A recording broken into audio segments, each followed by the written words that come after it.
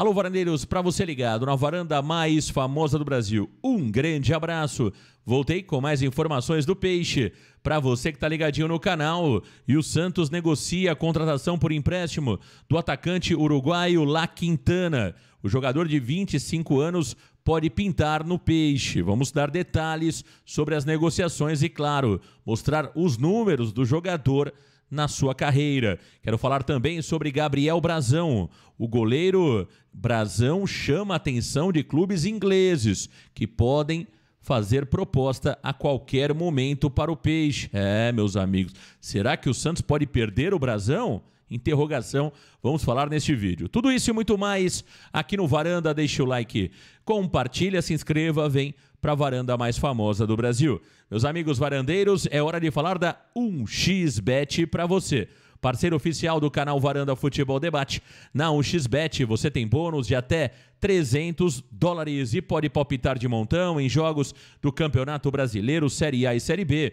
e jogos que rolam no Brasil e no mundo. Você utiliza o código promocional do canal que é o VFutebol tudo maiúsculo e tudo junto. E ao clicar no link fixado nos comentários, você realiza o seu cadastro e, claro, apoia o canal Varanda Futebol Debate. Anote aí o código VFutebol, tudo maiúsculo e tudo junto. E olha, tem grandes jogos para você palpitar ainda hoje, hein? Segue algumas sugestões para você. Cruzeiro e Fortaleza, hein? Olha, eu sou mais o Cruzeiro. Vila Nova e Paysandu, eu sou mais o Vila Nova. Então, corre lá, palpita na 1xBet, é só clicar no link fixado nos comentários para você. 1xBet, parceira do canal Varanda Futebol Debate, lembrando que é para maiores de 18 anos, sempre com muita responsabilidade. Meus amigos varandeiros, vamos falar um pouquinho sobre o Santos? Olha, a informação que foi trazida pela Ana Canhedo, do GE, é que o Santos negocia com o Red Bull Bragantino a contratação por empréstimo do atacante La Quintana. O jogador é uruguaio, tem 25 anos e não tem sido aproveitado pelo treinador Pedro Caixinha. Com isso, a ideia do Bragantino é ceder o jogador ao Santos Futebol Clube para que ele ganhe minutagem, ganhe casca e, claro, também seja valorizado caso vá bem no Santos Futebol Clube. O jogador pode chegar por empréstimo, as negociações estão avançando e o Santos tem grandes chances de contratar La Quintana por empréstimo. Ele que já jogou nove partidas pela Série A do futebol brasileiro, não pode defender nenhum outro clube da Série A. Mas é claro que pode ser negociado com o Santos, que está na Série B. Vamos aos números do La Quintana para você. Inácio La Quintana, 25 anos, 1,73m. Ele é um ponta que atua pelo lado direito. Na carreira, tem 173 partidas, 19 gols, 16 assistências. Foi revelado em 2018 pelo Defensor do Uruguai. Em 2021 até 2023, jogou pelo Penharol do Uruguai. Chamou a atenção do Red Bull Bragantino, que fez um contrato com o atleta o ano passado, até dezembro de 2027. Pelo Bragantino, na temporada atual, tem 27 partidas, 10 como titular, apenas dois gols marcados e nenhuma assistência, né? Tá aí os números do jogador Inácio La Quintana, que interessa ao Santos Futebol Clube. Olha, os números do atleta não são bons, né? Bom, eu busquei algumas imagens, eu confesso que conhecia muito pouco do atleta, não me lembrava tanto dele, até porque tem recebido pouquíssimas oportunidades do Pedro Caixinha. Fui buscar algumas imagens que existem no YouTube sobre o jogador. É um jogador muito rápido, né? Um jogador que joga pelo lado, é, pelo lado esquerdo, o La Quintana, um jogador de, de velocidade, um jogador, aliás, que joga pelo lado direito, né? Eu falei lado esquerdo, jogador que joga pelo lado direito, pode jogar também pelo lado esquerdo. É um jogador de muita velocidade, de boa qualidade técnica, mas que até agora não se firmou no Red Bull Bragantino. Pode ser uma possibilidade interessante ao Santos Futebol Clube, né? Ele chamou muita atenção no período que atuou no futebol uruguaio, no Penharol, fez bons anos né, no Penharol e, claro, chamou a atenção do Red Bull Bragantino, que investiu no La Quintana.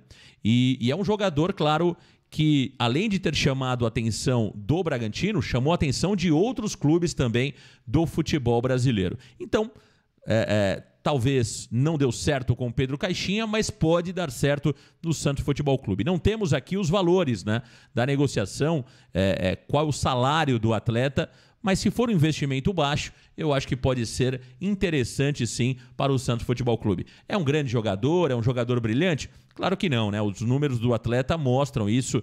Um jogador de 25 anos com apenas 19 gols na carreira, é claro que preocupa.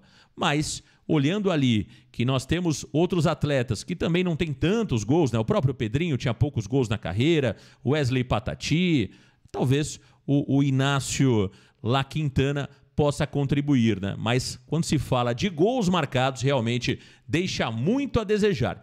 E esse ano só fez dois gols e não deu nenhuma assistência. Aí é algo que preocupa muito, né? Porque você pode ter poucos gols, mas é preciso ter pelo menos assistências. O La Quintana, nem uma coisa, nem outra. Meus amigos varandeiros, vamos falar um pouquinho sobre Gabriel Brazão? Olha, informação que foi trazida pela Laura Marcelo do Diário do Peixe é que clubes do futebol inglês estão interessados no goleiro Gabriel Brazão. Três clubes do futebol inglês estão sondando Gabriel Brazão e podem, claro, a qualquer momento realizar uma proposta. E um dos clubes, ainda não temos o, o nome do clube, acabou encaminhando um representante ao futebol brasileiro para acompanhar a partida Santos 1 Esporte também 1 na última sexta-feira. Portanto, Tá aí, Gabriel Brazão começa a chamar a atenção de clubes ingleses. Ele que tem contrato com o Santo Futebol Clube, contrato longo com o Peixe, né? Gabriel Brazão, que foi contratado no começo do ano, ele que estava na Inter de Milão, que ficou com 20% do passe do atleta, mas Gabriel Brazão tem contrato até 2026 com o Santos Futebol Clube, contrato bastante longo do arqueiro Gabriel Brazão, revelado pelo Cruzeiro, né? É, meus amigos varandeiros, tá aí a informação para você sobre Gabriel Brazão, hein? É, meus amigos, o Gabriel Brazão tem chamado muita atenção, não só da torcida Santista, né? É um bom goleiro e até pela idade dele, né? 23 anos apenas. É claro que alguns clubes já do futebol europeu começam a olhar com mais carinho o Gabriel Brazão. O Santos tem que segurar, né? O Santos tem que segurar esse goleiro que é muito promissor. Não dá para cravar que o Gabriel Brazão é, vai ser o goleiro titular do Santos do ano que vem, mas depois de tanta turbulência no gol do Santos, né? Há bastante tempo, acho que desde o Rafael Cabral, o Santos não tem um grande goleiro, né? Claro que teve ali o Vanderlei, o Vanderlei era um goleiro eh, até nota superior a 5, rebatia muitas bolas, tal. A torcida gostava do Vanderlei, mas eu acho que desde o Rafael Cabral, o Santos não tem um grande goleiro, né? E quem sabe agora estamos vendo o surgimento de Gabriel Brazão, que pode, claro, ter muito sucesso defendendo o gol do Santos. Meus amigos varandeiros, o Santos voltou a treinar no dia de hoje no CT Repelé. O treinador Fábio Carilli não deverá contar com o Juliano. Billy Arce ainda não treinou no gramado. Claro que o jogador está fazendo um trabalho à parte, melhorando o seu condicionamento físico, já que não atua oficialmente há mais de dois meses.